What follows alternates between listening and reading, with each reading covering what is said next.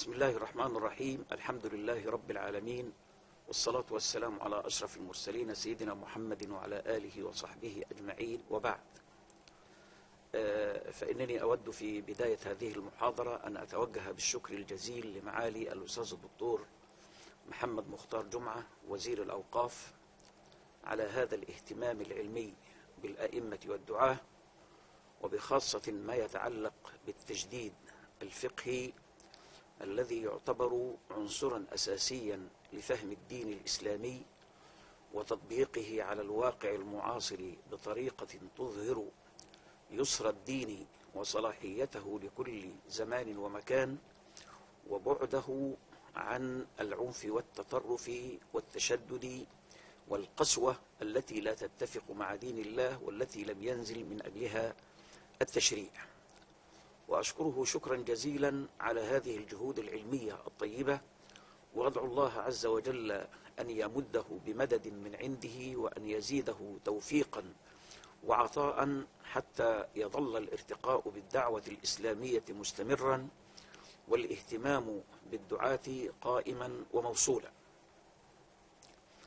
والمحاضرة التي نتحدث فيها اليوم تتعلق بالقواعد الفقهية والقواعد الفقهية علم من العلوم المتصلة بين بعلم الفقه أو هي علم مشترك بين علم أصول الفقه وبين الفقه الإسلامي. والقواعد الفقهية تعتبر أساس لضبط الأحكام الشرعية وجمعها في إطار واحد أو في أصل واحد بحيث يستطيع من يتحدث عن الفرع الفقهي إذا أراد أن يتأكد أنه صحيح أن يعيده إلى أصله. فهي المرشد وهي الدليل الذي يساعد الفقيه. عندما تعن له مسألة من المسائل أو نازلة من النوازل أن يقيس ما يجتهده أو ما يفهمه من أدلة التشريع الإسلامي في الكتاب والسنة أن يقيسه على هذا الأصل الذي تلتف حوله كل الفروع الفقهية وهو القاعدة الفقهية. ولذلك كان علم القواعد الفقهية من العلوم المهمة وإن كان هذا العلم مشتركا بين علم الفقه وعلم الأصول الفقه كما قلت إلا أنه يبقى علما مستقلا بذاته وتبقى القواعد الفقهية منارات تضيء الطريق أمام الفقهاء وأمام المفتين وأمام الباحثين حتى يستطيعوا أن يصوبوا أحكامهم ويعرفوا كيف يتجهون إلى المسار الذي يريدون فيه كيف يستطيعون أن يصلوا إلى حكم شرعي صحيح في المسألة أو في الواقعة أو في الوتوة التي يفتون فيها. والواقعة الفقهية أو الحكم الفقهي كما قلت يعتبر فرع من الفروع الذي التي تندرج مع فروع فقهية كثيرة تحت قاعدة فقهية واحدة. كما سيتضح الأمر من خلال هذه المحاضرة. ولهذا يمكن أن نعرف القاعدة الفقهية بأنها الأصل الذي يجمع مجموعة من الفروع الفقهية المتشابهة في استنباطها من الأدلة والغايات التي ترمي إليها هذه القاعدة أو يرمي إليها هذا الحكم. فالقاعدة بتؤخذ من جملة الفروع الفقهية التي تقال في الموضوع ثم يوضع لهذه الفروع عنوان أو قاعدة تجمع هذه الفروع الفقهية. وعلم الفروع وعلم القواعد الفقهية علم قديم نشأ مع نشأة المذاهب الفقهية. حتى إن بعض الفقهاء قد اختلفوا فيما بينهم في استنباط هذه القواعد أو في إيجاد هذه القواعد الفقهية منذ بداية التدوين الفقهي. فروي أن عن أن مذهب الحنفية في هذا الأمر أنهم كانوا يبحثون عن الفروع الفقهية وبعد أن يجدوا جملة من الفروع الفقهية يضعوا لها عنوانا أو قاعدة تضبط هذه الفروع أو هذه القواعد. وقد تكون القاعدة مستنبطة من حديث النبي صلى الله عليه وسلم أو من آية قرآنية أو من حكم فقهي يبتكره الفقيه. فمثلا قاعدة لا ضرر ولا ضرار. هي أصلا حديث مروي عن النبي صلى الله عليه وسلم وهو حديث حسن ورغم أن الفقهاء قد تكلموا في سنده وروايته إلا أنه صحيح تماما من حيث المعنى والمضمون وقد روي من طرق يقوي بعضها بعضا. هذه هذا الحديث يقول إنه لا ضرر أي لا يجوز أن يكون هناك ضرر والنفي هنا بمعنى النهي أي لا تفعلوا الضرر يعني يخاطب الفرد ألا يفعل الضرر بغيره ويخاطب المجموع ألا يضر بعضهم بعضا أو ألا يرد المضرور على غيره بالضرر. فلا يجوز أن تكون آه، أن يكون الرد على الإساءة بمثلها إلا من ظلم. كما قال الله عز من قائل لا يحب الله الجهر بالسوء من القول إلا من ظلم. ولكن الحديث الشريف لا ضرر ولا ضرر بينفي الضرر على المستوى الفردي وعلى المستوى الجماعي. مذهب الحنفية في تأصيل هذا الحديث أو في تأصيل القاعدة المستنبطة من هذا الحديث وهي قاعدة لا ضرر ولا ضرار نظروا في الفروع الفقهية. فوجدوا أن الشريعة الإسلامية تحرم الضرر في كل موطن وفي كل مجال. فالضرر بين الجار وجاره ممنوع والضرر بين الزوجة وزوجها ممنوع والضرر بين الناس بعضهم مع بعض ممنوع والضرر بين الدول بعضها مع بعض ممنوع. لم ممنوع بالأدلة الشرعية التي تدل على أنه محظور في كل هذه المواطن والفروع. فمن خلال هذه الفروع جمعوا قاعدة تضبط هذا الأصل وهي قاعدة لا ضرر ولا, ولا ضرار وأدخلوها تحت هذا الأصل وهو حديث النبي صلى الله عليه وسلم الذي ينفي الضرر والضرار. ومن ذلك مثلا قاعدة أن درء المفسدة مقدم على جلب المصلحة. درء المفاسد مقدم على جلب المصالح. لأنني آه، إذا كنت أنشد المصلحة وأريد أن أصل إلى تحصيل ما أراده الشارع من إنزال الشرع وهي حفظ المصالح ودرء المفاسد فإن درء المفسدة هو الذي يقدم لأنه لا يجوز أن أحقق مصلحة آه، وما زال المكان فيه فساد أو ما زال الجسم فيه فساد لا يجوز أن أحصل الدواء أو التداوي أو ألتمس أسباب التشافي وأنا ما زلت غارقا في أسباب الإصابة بالمرض. بل يجب أن أتوقع آه، من المرض أولا ثم بعد ذلك أعالج المرض وهو جلب المصلحة. أدفع المفسدة أولا ثم أجلب المصلحة التي تطرأ على هذه المفسدة. ولو أن الإنسان حصل المصلحة مع وجود المفسدة لن يكون للمصلحة قيمة ولا معنى لأن المتعة التي ستجلبها المصلحة سوف تضيع مع مرارة المفسدة التي يعانيها الإنسان. ولذلك إذا أراد الإنسان أن يستمتع بالمصلحة أولا يجب أن يزيل في حياته ما يزاحمها من المفاسد. ولأن ضرء المفسدة في ذاته حتى ولو لم يحصل الإنسان مصلحة في مقابلها مجرد أن يضرأ المفسدة فيه مصلحة. فالإنسان إذا كان متلبثا بالمفاسد فإن هذا التلبس سوف ينغص حياته وسوف يجلب عليه الضرر وسيكون في كل تصرفاته مناقضا لمبدأ التشريع الإسلامي في آه، دفع المفاسد. درء المفسدة مقدم على جلب المصلحة. ولذلك قالوا من خلال هذا الأمر إن التخلية قبل التحلية.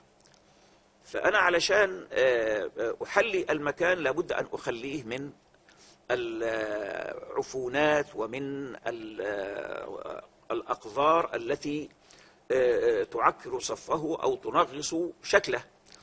وبالتالي يجب علي أن آه، أخلي أولا من المكاره ثم أحلي بعد ذلك بما آه، يعني يتناسب مع منشود الإنسان أو مطلوبه ويتفق في نفس الوقت مع مقصود الشريعة الإسلامية التي ما نزلت إلا لتدفع الضرر عن الناس و تدرأ المفاسد عنهم وتحقق لهم السعادة واليسر وفي آه، آه، القيام بالأحكام الشرعية أو بالأعمال الشرعية.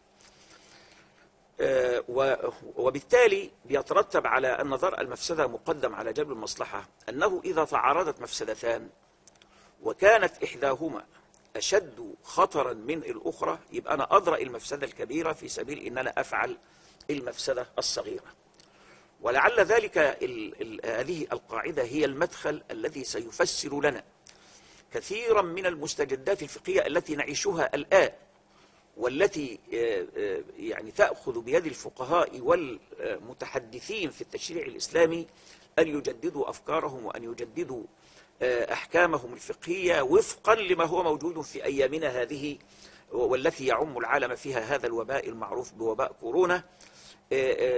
هذه القاعدة مدخل أساسي ورئيسي في فهم كثير من الأحكام الشرعية التي يتناسب القول بها مع أيامنا هذه أو مع الوقت الذي نعيش فيه.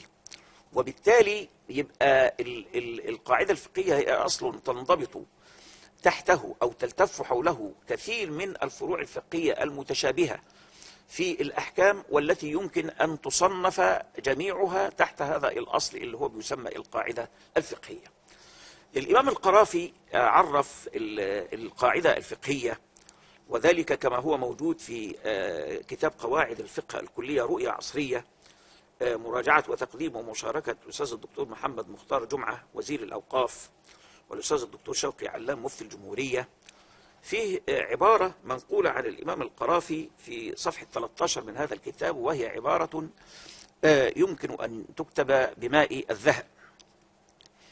يقول فيها الإمام القرافي من ضبط قواعد الفقه من ضبط الفقه بقواعده استغنى عن حفظ أكثر الجزئيات لاندراجها في الكليات واتخذ عنده واتحد عنده ما تناقض عند غيره. يعني القاعدة الفقهية بتوحد الأحكام الفقهية التي ربما يراها البعض متناقضة عنده فهي توحد هذه الأحكام وتضيء الطريق أمام الفقيه حتى تنضبط الأحكام في نظره ولا تتعارض وربما يكون هذا التساوي وهذا الاتفاق يراه غيره مختلفا لأنه ليس عنده البصلة أو الضابط أو الأصل الذي يمكن أن تلتف حوله هذه القواعد والتي يمكن أن تنضبط والتي يمكن أن تضبط له الأحكام الفقهية أو الفروع الفقهية التي يقولها.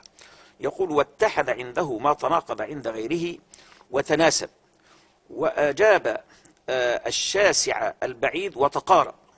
يعني يعني الشاسع البعيد الفرع البعيد عن القاعدة الفقهية بيتقارب أو بيبقى واضح على ضوء هذه القاعدة ويتقارب مع غيره من الفروع التي تشتبه معه أو تتحد معه في الحكم.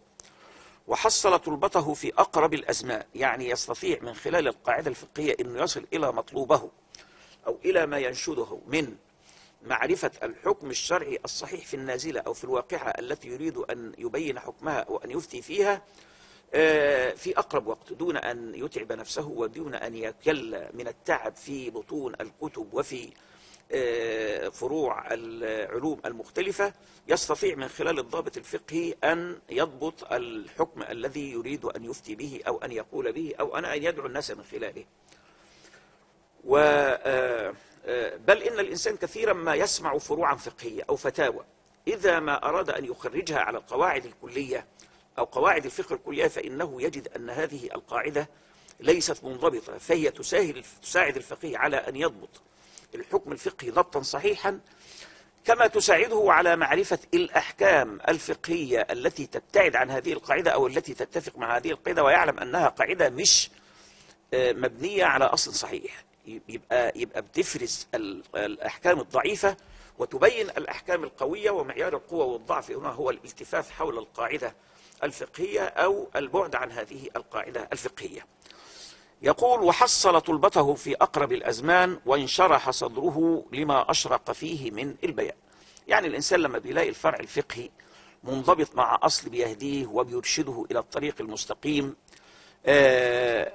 بيبقى الإنسان سعيد ومستريح ويعلم أنه قد اهتدى إلى أساس يرشده إلى الحق ويدله على الطريق المستقيم. يعني إذا أردنا أن نشبه هذا الأمر بواقع مادي هي تشبه المنارات في الطريق في البحر. عندما تسير السفينة في أبواب الماء ويخشى أن تصطدم بأمر يصيبها أو يعطل إبحارها بتجد هذه القواعد أو هذه الأدلة المضيئة لترشد الربان إلى الطريق الذي يجب أن يسير فيه فإذا استقام أمره بين هذه الأدلة ووجد أن سيره متفق مع هذه الأدلة بيبقى ده دليل على أنه ماشي في الطريق السليم. إنما إذا اصطدم بهذه القواعد أو خرج عن إطارها فإن مساره يكون على خطر عظيم وربما لا يستطيع أن يصل إلى المرفأ الآمن الذي ينشده. وبالتالي هي أدلة كاشفة ومضيئة ومبينة للفقيه ليسير في الطريق الصحيح الذي ينشده وهو يبين الأحكام الفقهية. آه، سواء كان ذلك الفقيه يعمل في مجال الدعوة الإسلامية كالأئمة والعلماء في وزارة الأوقاف وفي الوعظ وغيرهم من الذين يبلغون رسالات الله ويخشونه والذين يعرفون الناس بأحكام الله عز وجل ويدعونهم إلى الصراط المستقيم. أو سواء كان ذلك من طلاب العلم الذين يبحثون في الموضوعات المختلفة. ويريدون أن يصلوا إلى معرفة الحكم الشرعي الصحيح فيما يبحثونه من الموضوعات أو فيما يريدون تحريره من المسائل.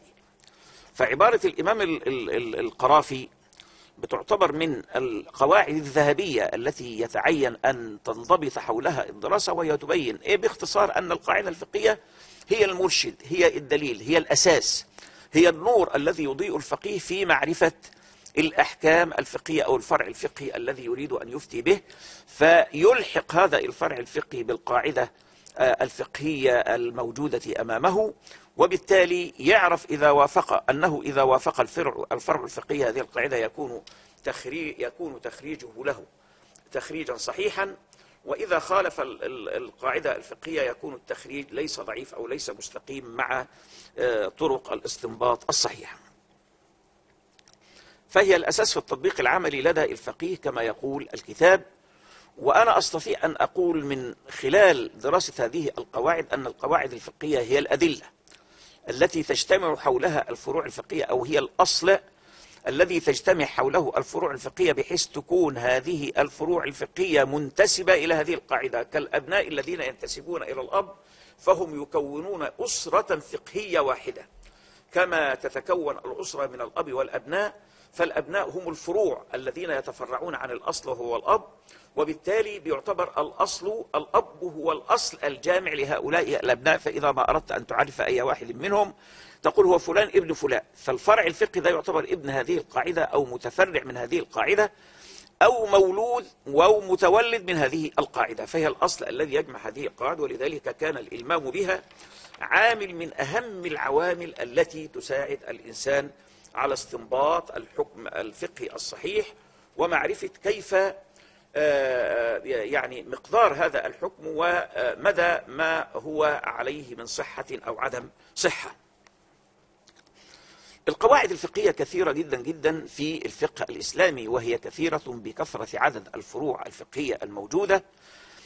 وكما نعلم فإن الفروع الفقهية لا تتناهى الأحكام الفقهية لا تتناهى. لا يمكن أن تتناهى الأحكام الفقهية لأن الأحكام الفقهية موجودة في كل لحظة وفي كل وقت والتشريع الإسلامي نزل ليبين للناس آه، جميع الأوصاف الشرعية لكل فعل يفعلونه ولكل حركة يتحركون فيها. ما من حركة وما من حكم إلا وله في دين الله حكم وله في شريعة الله وصف وبيان. ولذلك يقول الله تبارك وتعالى فمن يعمل مثقال ذرة خيرا يره ومن يعمل مثقال ذرة شرا يره. الإنسان مهما كان عمله قليلا أو مقدار الذرة فإنه إما أن يكون خيرا له أو شرا عليه. وكون أنه يبقى خير له يعني معنى ذلك أنه مستقيم وفق منهج الله عز وجل أو كما يريد الله تبارك وتعالى وإن كان شرا له فمعنى ذلك أنه خارج عن الصراط المستقيم وعن طريق الله عز وجل. وبالتالي يبقى الشريعة الإسلامية آه، آه، قادرة على أن تبين الأوصاف الفقهية لكل أمر من الأمور التي آه، يعني تحدث للإنسان. بل مش للإنسان فقط لكل إنسان في هذه الحياة. فالإنسان في كل حركة يتحركها مع تعدد البشر ومع تعدد بني الإنسان. كل حركة يفعلها الإنسان هي موصوفة في شرع الله عز وجل إما حلال وإما حرام. كما قال الله تعالى فمن يعمل مثقال ذرة خيرا يره ومن يعمل مثقال ذرة شر يره. وكما قال عز من قائل إن في خلق السماوات والأرض واختلاف الليل والنهار لآيات لأولي الألباب الذين يذكرون الله قياما وقعودا وعلى جنوبهم. ويتفكرون في خلق السماوات والأرض. ربنا ما خلقت هذا باطلا سبحانك فقنا عذاب النار. هذه الآية الكريمة أو هذا القول الكريم تكلم عن آيات الله الكونية وتكلم عن آيات الله المتلوة. ومعنى الآية بإجمال أن الآيات المتلوة بتحكم كل حركات الإنسان وسكناته سواء كان ذلك في حال قيامه أو في حال قعوده أو في حال نيمه. وأحوال الإنسان لا تخرج عن هذه الأمور الثلاثة.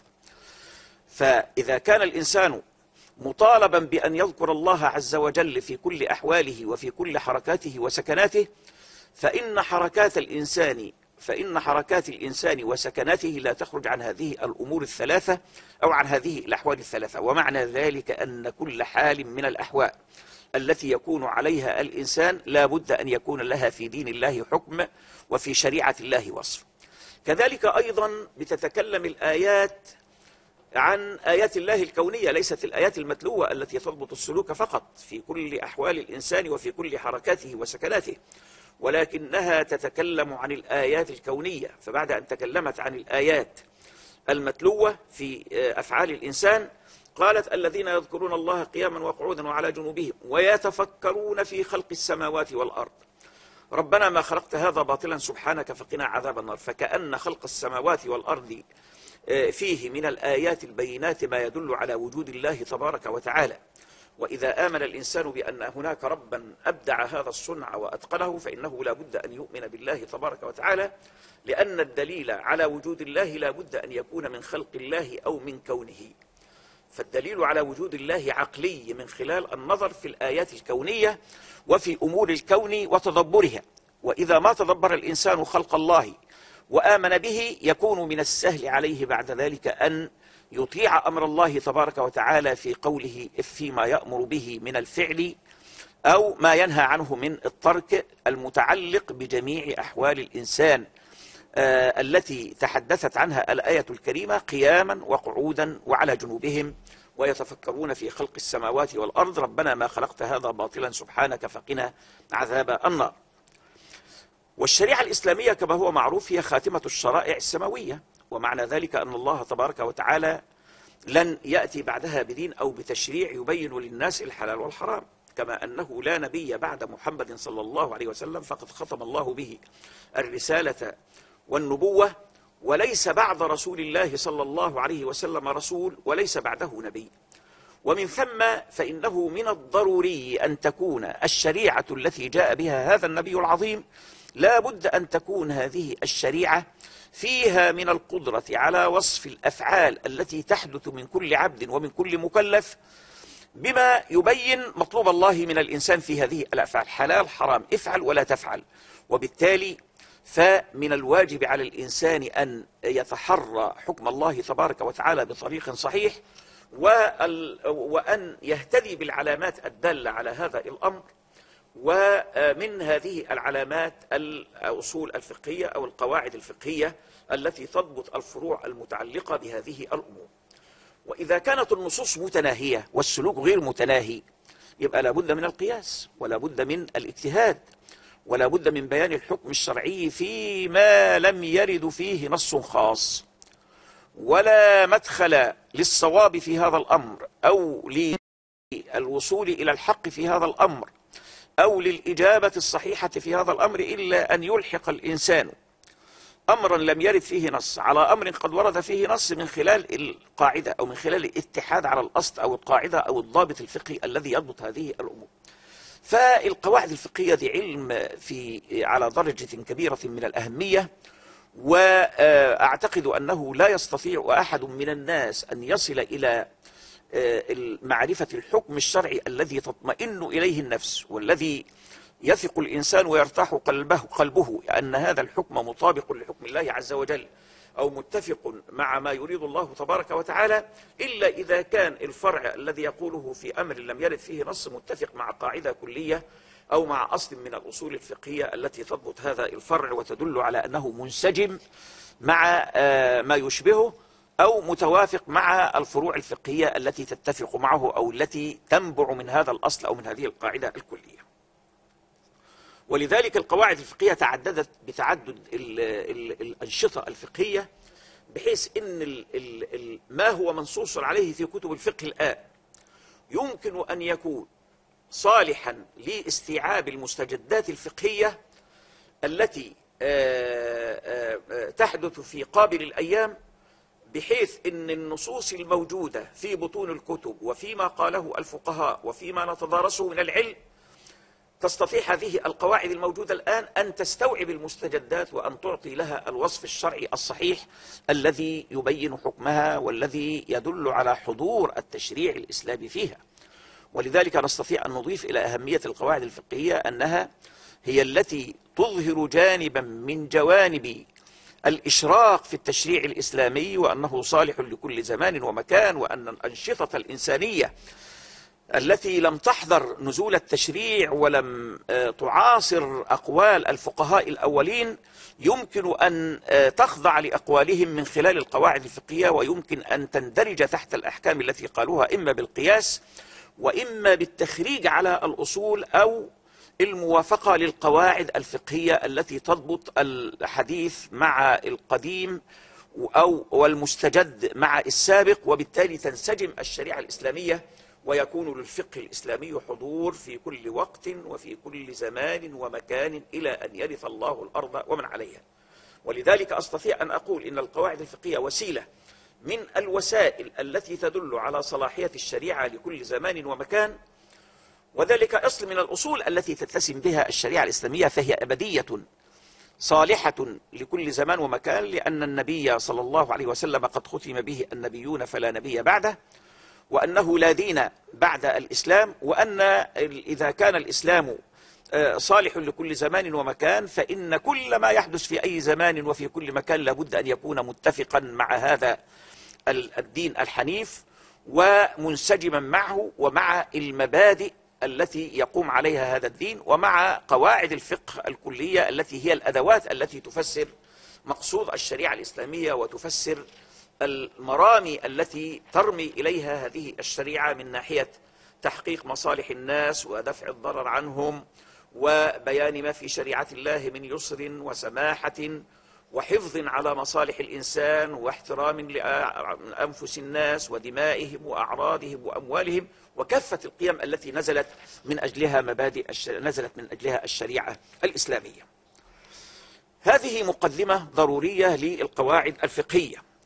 وأستطيع أن أقول إن المجال الرحيم الذي يستوعب الأحكام الفقهية على امتداد الزمان سواء ما كان موجودا وقت الفقهاء أو في وقتنا وسواء ما سيوجد من الوقائع الفقهية التي تقتضي بيانا للحكم الشرعي الصحيح فيها هذه الأحكام الفقهية آه، بتحظى بأصول أو قواعد يمكن أن تتخرج عليها وإذا لم يوجد آه، أصل يمكن أن يندرج تحته الفرع الفقهي المستجد فإننا نستطيع أن نستخرج ضابطا. نحن نحن نستطيع أن نستخرج ضابطا يمكن أن يندرج تحته هذا الفرع الفقهي. ولذلك أنا حرصت أن تكون هذه المحاضرة مستجدات القواعد الفقهية في ضوء آآ آآ آآ كورونا أو في في ضوء جائحة كورونا جائحة كورونا دي جائحة مستجدة. من الجوائح التي عمت الدنيا وطمت وأصبحت مقلقة للدنيا كلها ومؤثرة وأصبحت تمثل خطرا كبيرا على الإنسانية كلها على بني الإنسان في كل زمان في هذا الزمان وفي كل مكان. طبعا الشريعة الإسلامية من مقاصدها أن تحفظ حياة الناس وحفظ الحياة في الشريعة الإسلامية من المصالح أو من المقاصد الأساسية التي تقدم على ما سواه بل تقدم على الدين نفسه. ونلاحظ هنا أمر أود أن أنبه ليه أن علماء الأصول حينما رتبوا المصالح الشرعية التي نزلت من أجلها الشريعة الإسلامية رتبوها كالتالي في القديم. قالوا إن أول مصلحة من المصالح أولا رتبوا المصالح بحسب الأهمية بتاعتها إلى ضرورات وتحسينيات وحاجيات وتحسينيات. الضرورات هي الأمور التي لا تستقيم الحياة إلا بدونها. الحاجيات هي الأمور التي تبحث في أمور الترخيص والتيسير والتخفيف على المرضى وذوي الأعذار وغيرهم ممن لا يستطيعون ممن لا يستطيعون أن يؤدوا إلى أحكام الشرعية وفقا لما نزلت أو يقتضي أمرهم لضعفهم وللمشقة التي تعتري حياتهم أن يخفف الله عليهم في آه، الصلوات وفي بعض العبادات وفي آه، آه، بعض الأحكام الفقهية أو الفروع الفقهية التي تتناسب مع يسر الشريعة الإسلامية ومع ومع رحمتها ومع ما اتسمت به من رفع الحرج عن الناس ثم يأتي في النهاية باب التحسينيات أو مقصد التحسينيات. يبقى عندنا الضرورات الحاجيات التحسينيات. كان هذا الترتيب هو الذي صار عليه الفقهاء. والضرورات كانت تنقسم عند الفقهاء القدامى إلى خمس مصالح أساسية أو خمس مصالح كانوا بيسموها الضرورات الخمس أو الكليات الخمس. كانت هذه الضرورات الخمس أو الكليات الخمس أو المصالح الخمس بتبدأ بحفظ الدين فكان الدين يأتي أولا. كانت مرتبة هكذا. يأتي حفظ الدين أولا ثم يأتي بعد ذلك حفظ النفس ثم يأتي بعد ذلك حفظ العقل. ثم يأتي بعد ذلك حفظ العرض أو النسل والعرض أو النسل في تعبيرات الفقهاء بمعنى واحد وإن كان بعض الفقهاء بيعتبر أن العرض غير النسل ويجعلها بناء على ذلك ليست خمسة وإنما هي ستة إنما في واقع الأمر وفي إطار التخريج الفقهي الصحيح العرض هو النسل. لأن المحافظة على النسل تتعلق بالعرض والمحافظة على العرض يرتبط بالنفس وحتى لما بنقول أن إنسانا قد ثلب في عرضه فإن العرض يرتبط بمواطن التناسل من الإنسان بمواطن الشرف من الإنسان موطن الشرف من الإنسان بيرتبط بموطن التناسل من أهله ومن محارمه فما يمس عرض الإنسان في زوجته وفي ابنته وفي أمه وفي أخته بيعتبر ذلك هو العرض ويعتبر هو أيضا في نفس الوقت هو موطن التناسل منه. لأن العرض أول ما ينصرف ينصرف إلى موضع التناسل من الإنسان فإذا وصف هذا الموضع بأنه موضع شريف عفيف كان ذلك فيه حفظ لعرض الإنسان. وإذا وصف موضع التناسل فيه أو في أهله بأنه موضع خسيس أو ذنيء أو ما إلى ذلك كان ذلك مساسا بعرضه. فالعرض والنسل مرتبطان ببعضهما ارتباطا لا يقبل الفصل. ولذلك فإن الذي نراه أنهما بمعنى واحد وإن كان بعض الفقهاء قد جعلوا النسل غير العرض والعرض غير النسل وكانت المصالح عندهم بالنسبة للضرورات ست آه، مصالح وليست خمسة إنما الصحيح أنها خمسة. يبقى تبدأ بالدين ثم النفس ثم العقل ثم العرض ثم المال وكان المال يأتي في آخر هذه الأمور. ده فيما يتعلق بالمقصد الأول وهو مقصد الضرورات. وأنا في نظري والله أعلم أن هذه الأمور ليست ترتيبا توقيفيا. ترتيب هذه الأمور وفقا لهذه الأولويات بحيث أن مصلحة ما تأتي بعد مصلحة أو مصلحة ما تسبق مصلحة ليست مسألة توقيفية وإنما هي أمر اجتهادي رتبه الفقهاء وفقا لما رأوه من أهمية كل مصلحة في نظر الفقيه أو في نظر من يقول بهذا الترتيب. ولذلك فإن هذا لا يمنع من أن يعاد النظر في هذا الترتيب وفقا لما يظهر من أولويات المصلحة التي تبدو في يوم من الأيام أو في زمن من الأزمان. وقد حدث ذلك في أيامنا هذه. يعني مثلا أنا أحترم احتراما كبيرا ما ذهب إليه معالي الوزير الدكتور محمد مختار جمعة حين قال إن مصلحة الوطن تعتبر من المصالح الضرورية التي يجب أن نبدأ بها قبل أن نتكلم عن حفظ النفس وعن حفظ الدين وعن حفظ العقل وعن حفظ العرض وعن حفظ المال وهذا نظر صحيح إلى حد كبير. لأن حفظ النفس وحفظ الدين وحفظ العقل وحفظ العرض وحفظ المال لا يمكن أن يتم إلا من خلال وطن محروس محمي بأهله يمكن أن تحمى فيه هذه المصالح. وهذه المصالح بدون وطن لا يمكن أن تقام. من الذي يستطيع أن يقيم الصلاة أو أن يقيم الزكاة أو يحفظ عرضه أو أن يحفظ نسله أو أن يحفظ ماله في وطن لا حكومة فيه ولا أمن فيه ولا استقرار فيه. لا يمكن أن تحمى هذه المصالح إلا إذا وجد وطن قوي وله ثغور محمية بيحمي الدين ويحمي النفوس ويحمي العقول ويحمي الأعراض ويحمي الأموال ويحمي النسل ويحمي كل شيء. ولذلك هذا النظر وقد قلنا إن المسألة في البداية ليست مسألة توقيفية. وإنما هي مسألة اجتهادية تتغير بتغير الزمان.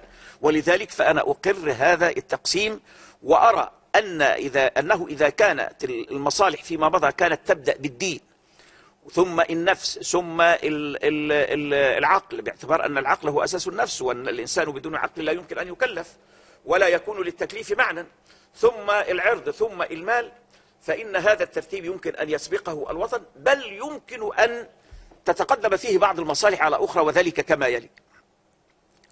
النظر إلى الدين كان على أساس أن الدين هو الأسمى وهذا حق. الدين على الرؤوس وهو المصلحة الأولى التي فيها النص على حماية كل هذه النعم التي أنعم الله بها علينا والتي إذا احتكمنا عليها فإن كل هذه النعم هي التي تصاب لكن الأيام أثبتت أن حفظ الدين من الغلو وحفظه من الأقوال التي تتلاعب فيه وحفظه من التهم التي توجه إليه عبر الفضائيات وعبر ما ينشر عنه من أكاذيب أثبت الواقع أن المال له دخل كبير في حفظ الدين. وأن كثيرا من الأصوات الباطلة إنما تستند في زيوع بطلانها إلى المال. ولو أن المسلمين أو أن الإسلام كان يمتلك هذه القدرات المالية لاستطاع أن يفرض كلمته على الناس أو أن يدفع عن نفسه الضر الذي يطارده به هؤلاء الذين يحاربون الإسلام بأموالهم. فما أقدرش أقول إن المال يأتي في آخر الأمر. بل إن المال هو الذي يحمي الدين وهو الذي يحمي الأخلاق وهو الذي يحمي العرض وهو الذي يحمي النفس. أنا بدون المال لا أستطيع أن أقيم وطن وبدون المال لا أستطيع أن أحمي الدين وبدون المال لا أستطيع أن أحمي النفس وبدون المال لا أستطيع أن أحمي العرض. بل إن فقد المال قد يؤدي بالإنسان إلى أن يبذل عرضه في سوق في البيع يعرض عرضه للبيع كما تعرض السلعة. ولذلك أهمية المال على درجة كبيرة من الأهمية وتكون تلك الدعاوى التي تدعو إلى الزهد وأن المال شيء حقير وأنه يدعو إلى تلهية الناس وأنه لا أهمية له في الحياة وأننا يجب علينا أن نزهد وأن نترك الدنيا آه، لأهل الدنيا. هذا كلام ليس له أساس صحيح من الدين بل إن المال مهم جدا في حياة المسلمين وربما تكون هذه الأمية مختلفة من عصر إلى آخر. فالمال في عصرنا هذا الذي انتشرت فيه الاتجاهات المادية وأصبح المال سلاح كبير في صياغة العقول وفي آه، آه، تشويه الدين وفي النشر والإذاعات واستعمال وسائل التواصل بهذه القنوات التي تملأ الفضاء غزو الأثير الذي أصبح يؤثر على عقائد الناس ويحدث بلبلة لدى الشباب من قلة القنوات التي تدفع هذا السيل العرب من الدعاوى الباطلة والشبه الزائفة لو أن هناك مالا يستطيع أن يجابه هذه الدعاوى ويستطيع أن يجابه هذه القنوات ما كنا في هذا الوضع الذي يساء فيه الإسلام والذي يستغل فيه الإسلام استغلالا سيئا ممن باعوا ضمائرهم وأخلاقهم وأنفسهم للشيطان في سبيل المال ليحاربوا الإسلام باسم الإسلام والإسلام منهم براء. ولذلك أنا لما أجي أقول إن الوطن ثم تنمية المطر تكون بالدين يكون ذلك أمر يعني آه، له اعتباره وله تقديره. والمسألة كما قلت ملائمة فقهية يعني ترتيب المصالح ليس ترتيبا نصيا ليس ترتيبا موقوفا ليس أمرا توقيفيا وإنما هو أمر اجتهادي بحسب المصلحة. وأنا أرى أن المصلحة تتغير من وقت إلى آخر. اليوم أصبحنا بحاجة إلى الوطن كضرورة من الضرورات وضرورة تسبق هذه الأمور كما يرى معالي الوزير.